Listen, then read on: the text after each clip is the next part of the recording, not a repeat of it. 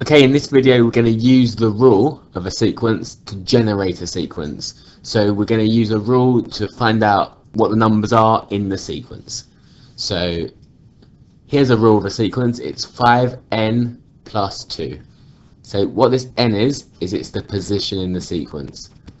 So if I substituted in 1 for n, that will give me the first number of the sequence. If I substitute in 2, that will give me the second number of the sequence. If I substituted in 80, it gives me the 80th number in that sequence. So to generate the sequence, if I want the first five terms, I'm going to substitute in 1 to find the first term. So the first term is 5 times 1 plus 2. And 5 times 1 plus 2, so that's 5 plus 2 is 7. So that's the first term is 7. The second term is 5 times 2 plus 2. So 10 plus 2, 12. The third term is 5 times 3 plus 2. So 5 times 3 is 15, plus 2, 17. The fourth term is 5 times 4 plus 2. That's 22. So what we're getting now is a sequence of terms like this. It's going to keep going, adding on 5 every time so 32, 37, and so on. If I wanted to find the hundredth term, so the 100th term, I'll have to do 5 multiplied by 100 plus 2, which is 5 times 100, 500 plus 2, that's 502.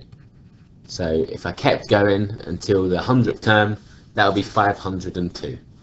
So this is how we use a rule to generate a sequence. So here's another one, we've got 21 minus 3n. So in the same way, let's find the first five terms. So the first term is 21 minus 3 times 1. So n is the position. 21 minus 3, that's 18. Second term, 21 minus 3 times 2. That's 21 minus 6, that's 15. 21 minus 3 times 3. 21 minus 9 is 12. 21 minus 3 times 4 for the fourth term. 21 minus 12 is 9. 21 minus 3 times 5.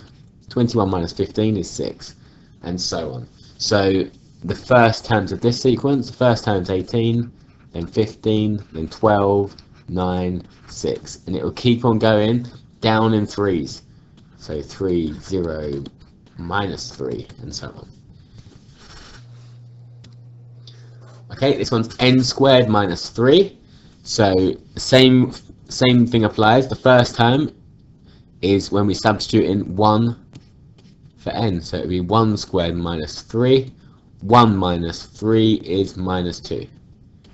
2 squared minus 3. 2 squared is 4 minus 3 is 1. 3 squared minus 3. 3 squared is 9, minus 3, is 6. 4 squared minus 3. 16 minus 3 is 13. And 5 squared minus 3. 5 squared is 25, minus 3 is 22. So the first five terms of this sequence are minus 2, 1, 6, 13, and 22.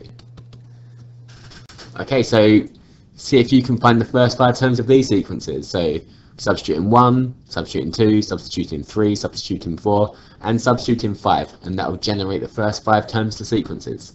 So give it a go, pause the video, and I'll go put the answer up in a minute.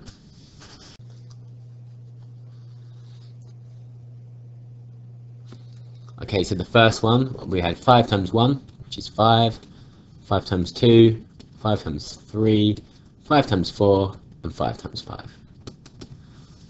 3n minus 2, so 3 times 1 minus 2 is 1, 3 times 2 is 6 minus 2, 4, 9 minus 2 is 7, and it goes up in threes, so 10, 13.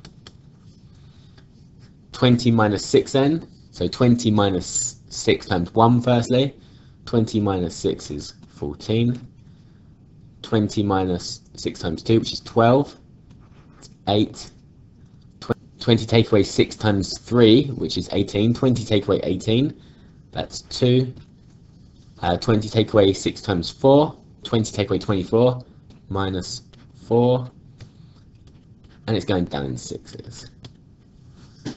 Okay, n squared plus 5. So 1 squared, 1 plus 5. 1 plus 5 is 6. 2 squared is 4, plus 5 is 9. 3 squared is 9, plus 5 is 14. Um, 4 squared is 16, plus 5 is 21. And 5 squared is 25, plus another 5 is 30. And we've got n squared plus n here. So we've got um, 1 squared plus 1. So 1 squared plus 1 is 2. 2 squared plus 2. 4 plus 2 is 6. 3 squared plus 3. 9 plus 3 is 12. 4 squared plus 4, 16 plus 4, 20. And 5 squared plus 5, 30. One above.